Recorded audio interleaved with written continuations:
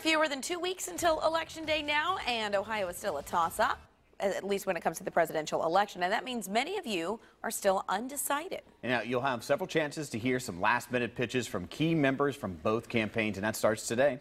Nine on your side's Allie Kramer is live at Over the Rhine, where Chelsea Clinton will appear later this morning. Allie?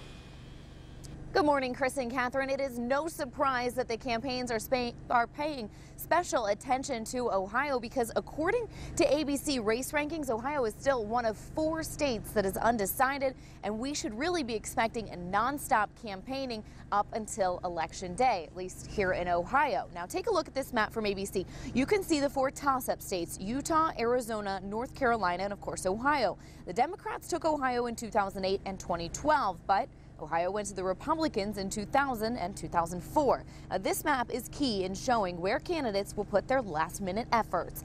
Now, the Clinton, the latest CNN poll that is, has Hillary leading Trump by five points, 49 to 44 percent. Now, CNN political experts report that Clinton has extended her reach with the younger voters and minorities, while Trump has gained white voters without college degrees. Now, both parties are also focusing on Ohio because it's on it's because it's one of the early voting voting states. That's what Chelsea Clinton will hone in on today.